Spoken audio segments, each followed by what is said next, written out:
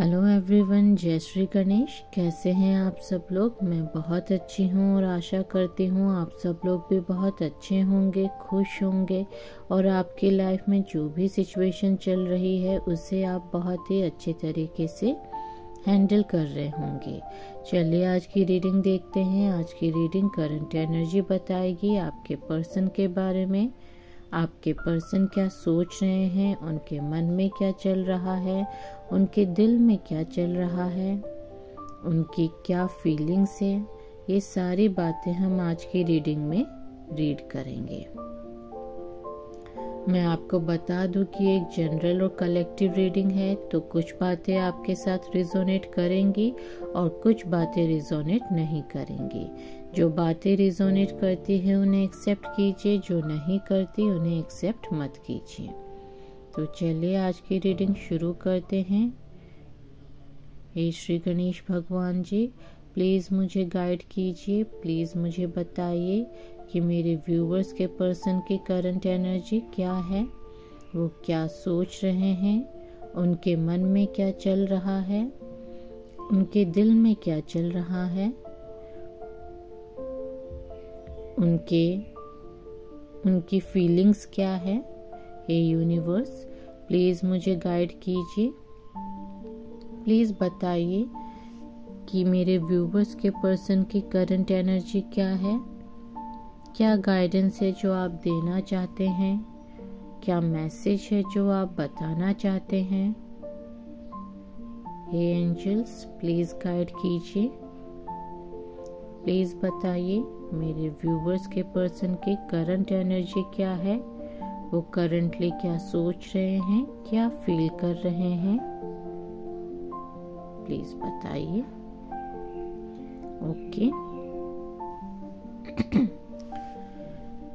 देखिए, आपके जो पर्सन है और आपकी मुझे बहुत ही स्ट्रॉन्ग फ्रेंडशिप लग रही है। आप दोनों की जो पहचान है, जो लव अफेयर जो रिश्ता शुरू हुआ था, वो एक बॉन्डिंग पे शुरू हुआ था, वो फ्रेंडशिप पे शुरू हुआ था। या फिर हो सकता है कि आप लोग किसी तरीके की गेट टुगेदरिंग में या किसी तरीके की पार्टी में एक दूसरे से मिले थे, तब से आप लोग की पहचान हुई है। तब से आप लोग एक दूसरे को लाइक करना शुरू किए थे और ये रिश्ता बना था। या फिर हो सकता है कि आप दोनों एक्चुअल में आ, एक दूसरे की जो कंपनी है वो बहुत एंजॉय करते हो। जब आप दोनों साथ में रहते हो तो किसी और की ज़रूरत भी नहीं रहती। आप दोनों के बीच में जो फ्रेंडशिप है, जो बॉन्ड है, वो इतना ज़्यादा स्ट्रॉन्ग है कि आप लोग को किसी और की ज़रूरत रहती ही नहीं। ये चीज़ें वो खुद भी जानते हैं और वो फील भी करते हैं। उनका दिल जब भी उनकी लाइफ में कुछ भी नई चीज़ होती है तो पहला पर्सन उनके दिमाग में जो आता है वो आप हो। वो आपसे ही बातें शेयर करना चाहते हैं और आपको बताना चाहते हैं क्योंकि आप दोनों अलग ज़रूर हो गए हो पर जो फ्रेंडशिप आप दोनों के बीच में क्रिएट हुई थी डेवलप डेवलप हुई थी वो चीज़ वो फ्रेंडशिप ये भूल नहीं पा रहे हैं और ये भूल भी नहीं सकते क्योंकि ये आ, ये उनके इमोशन से जुड़ी हुई है। भले ही आप लोग रिश्ता आप दोनों का कैसा भी अप एंड डाउन चलता होगा, पर जो फ्रेंडशिप है वो बहुत स्ट्रांग है और ये चीज़ वो एक्सेप्ट करते हैं, वो मानते हैं और एक जो फ्रेंड होता है उसे वो मिस भी करते हैं। वो चाहते हैं आप दोनों की बातचीत हो जाए ताकि अगर रिश्ते के दौर पर नहीं तो कम से कम फ्रेंडशिप के दौर पर शुरू हो जाए। क्योंकि वो आप जैसा फ्रेंड्स फ्रेंड खोना नहीं चाहते। उन्हें लगता है कि अगर आप उनकी लाइफ से चले जाओ तो उनकी लाइफ का एक बहुत इंपॉर्टेंट हिस्सा चला जाएगा, गुम हो जाएगा, खो जाएगा। वो उस चीज़ को कभी फिलअप नहीं कर पाएँगे किसी और पर्सन से, किसी और चीज़ से। उन्हें ये भी लगता है कि आप आप बहुत ही विजडमफुल पर्सन हो। आप हर चीज़ों को बहुत अच्छी तरीके से समझते हो। आप में जो समझ है, उस चीज़ की कमी उनमें है और वो ये चीज़ जानते हैं, क्योंकि उन्हें पता है कि वो थोड़े से इमेच्योर है, थोड़े से नादान है, थोड़े से बच्चे टाइप है। पर वहीं पे आप एक मैच्योर और विजडमफुल पर्सन हो। अगर वो भले ही आपको मुँह से कभी कहे ना, क्योंकि उन, उनकी जो इमेच्योरिटी है इमेच्योर जब हम पर्सन पर्सन रहता है तो उनकी ईगो भी बहुत ज़्यादा हाई होती है। यही उनके साथ हो रहा है। उनकी ईगो उनकी नादानी इतनी ज़्यादा हाई है कि वो उनका दिल जानता है कि आप कितने ज़्यादा मैच्योर और विजडमफुल पर्सन हो। पर क्योंकि उनकी जो नादानी है इमेच्योरिटी है और ईगो है, वो ये चीज़ आपके सामने एक्सेप्ट कर नहीं सकते, करना चाहते नहीं हैं। पर वो जानते हैं कि आप एक ऐसे व्यक्ति है, व्यक्ति हो जो किसी भी रिश्ते को बहुत ही अच्छे तरीके से, समझदारी से हैंडल कर सकते हो। वो बहुत सी कोशिशें कर रहे हैं कि वो किसी न किसी थर्ड पर्सन के थ्रू आपसे बातचीत कर पाए। वो हमेशा आप से रिलेटेड जो भी इंफॉर्मेशन होती है, वो उनके पास रहती है। चाहे आप दोनों के रिश्ते का, जो सेपरेशन का गैप है, वो कितना भी लंबा हो चुका हो, वो आज तक वो कोई भी ऐसी चीज़ छोड़ते नहीं हैं, जिससे वो आपकी आप से रिलेटेड जो इन्फॉर्मेशन है आपकी लाइफ में क्या चल रहा है, क्या हो रहा है, इस चीज़ के बारे में वो जान ना ले, इस चीज़ के बारे में वो इन्फॉर्मेशन गैदर कर ना ले। उन्हें हमेशा आप पे नज़र रखना, आपकी लाइफ में क्या चल रहा है इस चीज़ को गैदर करना बहुत ज़्यादा उनके लिए ज़रूरी है क्योंकि वो ये भी उनके मन में चलता है कि आप ठीक तो हो आप आ, सही तो हो आपके लाइफ में सही तो हो रहा है। अगर आपके लाइफ में कोई नया पर्सन आया भी है तो क्या वो पर्सन नया अच्छा है सही है आपके लिए?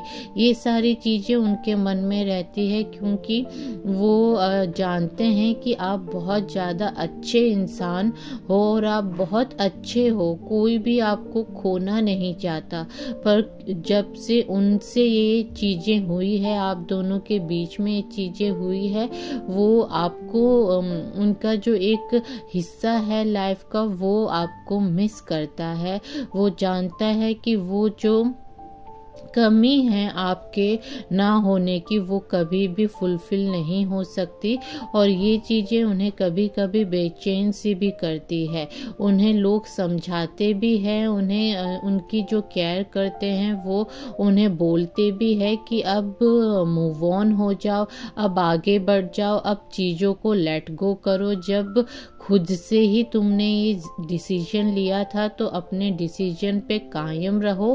पर ये चीज़ें उन्हें समझ नहीं आती, क्योंकि जो दिल है, दिल की, दिल जब बेचैन होता है, दिल जब आपको याद करता है तो उनके वश में कुछ नहीं रहता है।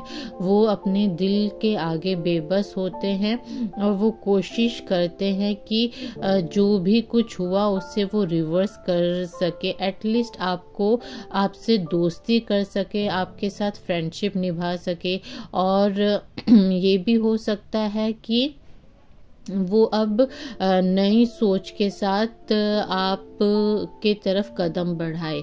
हो सकता है कि वो इस बार ये कोशिश करे कि वो आपसे एक नए परसेप्शन के साथ मिले।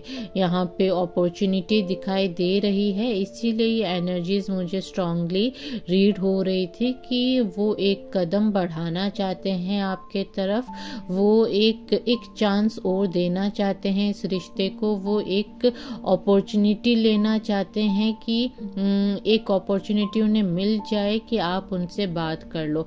इस बार वो आपके पास आएँगे और आपसे ज़रूर से कहेंगे कि वो कोशिश करेंगे कि सब कुछ ठीक रहे और उनसे जो गलतियाँ हुई है, वो गलतियाँ रिपीट ना हो, क्योंकि वो जो आपसे दूर रह के जो पल उन्होंने बिताए हैं, वो पल उनके बहुत मुश्किल से बीते हैं, बहुत मुश्किल उन्हें फेस करनी पड़ रही है और वो बहुत उदास रहते हैं, उनका कहीं किसी काम में बिल्कुल भी मन नहीं लगता। इसीलिए वो यही चाहेंगे कि वो एक बार आपसे बात करें और आपको ये यकीन दिलाए और आप उन्हें ये मौका दो कि एक बार उन्हें ये मौका दिया जाए कि वो अपनी गलतियों को सुधारे और वो इस चीज़ को सच्चे दिल से पूरा भी करना चाहते हैं कि उनसे अब कोई भी गलती ना हो। देखिए, वो बहुत ज़्यादा हड़बड़ी में होंगे, वो बहुत ज़्यादा इम्पेशेंट होंगे, वो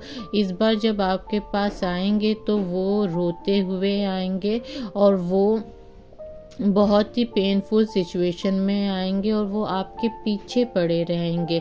वो आपको सांस तक नहीं लेने देंगे। वो आपके पीछे पड़ जाएँगे कि उन्हें आपसे बात करनी है, उन्हें आपसे बात करनी है, उन्हें एक मौका और दीजिए। वो इस बार ये गलती नहीं करेंगे। ये चीज़ें दिखाई दे रही है और वो बहुत स्ट्रांगली इस बार आएँगे और चाहेंगे कि अगर उन्हें एक बार चांस मिले और अगर आप लोगों की बात हो तो वो कहीं भी किसी तरीके की गलतियाँ ना करे। वो इस डिटर्मिनेशन से आपसे मिलना चाहते हैं। और देखिए मैजिक कार्ड आया है तो आप यूनिवर्स पे अगर आप बिलीव करते हो तो मैं आपको बोल दूँ कि जो यूनिवर्स है, वो आपके लिए मैजिक क्रिएट करना चाह रहे हैं। वो चाह रहे हैं कि किसी न किसी की ब्लेसिंग किसी न किसी तरीके की ब्लेसिंग पॉजिटिविटी आपको घेर रखी है। अगर आप उसे फील नहीं कर पा रहे हो तो ये आप फील नहीं कर रहे हो, पर यूनिवर्स जो है, वो ब्लेसिंग्स भी आपके तरफ़ भेज रहे हैं और एक तरीके का मैजिक आपके तरफ़ भेज रहे हैं। मैजिक क्या होता है जब हमें यकीन ही नहीं होता कि इस पल में ऐसा क्या हुआ कि सब कुछ बदल गया। तो वो यूनिवर्स कह रहे हैं आपसे कि आप अपनी जो होप है, उसे खोइए नहीं। अपने होप पर विश्वास रखिए, क्योंकि यूनिवर्स की एंजल्स की जो ब्लेसिंग है, वो आपके साथ है। और वो ज़रूर से अगर आप अपनी होप को मज़बूत करते हैं स्ट्रॉन्ग करते हैं बिलीव रखते हैं। अपने एंजल्स पे तो एंजल्स आपके लाइफ में मैजिक ज़रूर से क्रिएट करेंगे। और ऐसा मैजिक आपके लाइफ में होगा कि आपको, आपकी पलके झपकेंगी और आपकी लाइफ में सब कुछ अच्छा हो जाएगा। यूनिवर्स मैसेज दे रहे हैं कि आप ज़रा सा पेशेंस रखिए। खुद पर भरोसा रखिए, खुद पे विश्वास रखिए, क्योंकि मैजिक क्रिएट होने के लिए आपका यूनिवर्स के साथ अलाइन होना बहुत ज़्यादा ज़रूरी है। आप होप रखिए, इंतज़ार कीजिए। इंतज़ार कीजिए और जो भी रेड फ्लैग्स दिखते हैं, जैसे कि वो वापस आएँगे और वो आपसे बातें करेंगे तो अगर आपको ये दिखता है कि हाँ वो सही है उन्हें जब आप एक मौका और दोगे तो आपको ये ध्यान रखना होगा this could be the one okay आपको ये ध्यान रखना होगा कि आ, वो कितनी जो अपनी बातें वो आपको बोलेंगे stay optimistic about your love life वो अपन जो बातें बोलेंगे उनका एक्शंस उसके साथ कितना मैच कर रहा है। आप उन्हें फॉरगिव करोगे वो सही है, पर आपको इस चीज़ का ध्यान रखना होगा कि वो जो बोल के आपके लाइफ में आएँगे, वो चीज़ें वो करेंगे या नहीं करेंगे, इस चीज़ का आपको ध्यान रखना है, आपको पॉजिटिव रहना है, क्योंकि यूनिवर्स जो है, वो आपके साइड में है, जो यूनिवर्स है, उनकी ब्लेसिंग्स आपके साइड में है। इसीलिए आपको देखिए रोमेंस की एनर्जी भी दिख रही है तो हो सकता है कि वो जो, जब वो इस बार आएँगे तो वो जो बोलेंगे, वो फुलफिल भी करेंगे। अबंडेंस में आपके लाइफ में लव है, आपको अपने जो लव लाइफ है, उसको लेकर लुक फॉर अ साइन देखिए, ये साइन ही है।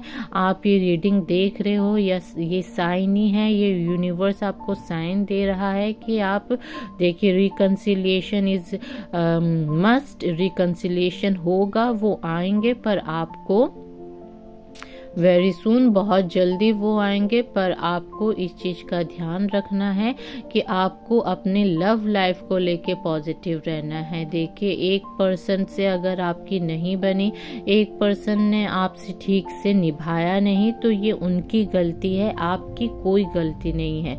आपकी लव लाइफ द बेस्ट है, क्योंकि यूनिवर्स आपके साथ है।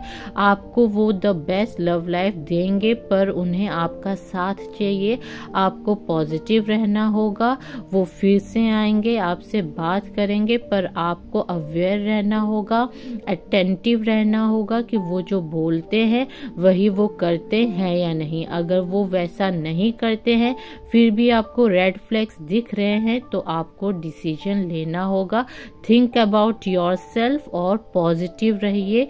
अपने खुद पर बिलीव कीजिए यूनिवर्स पे बिलीव कीजिए कि वो आपके साथ हैं। तो ये थी आज की रीडिंग अगर आपको ये रीडिंग पसंद आए तो प्लीज़ इसे लाइक शेयर एंड सब्सक्राइब कीजिएगा. थैंक यू सो मच जय श्री गणेश.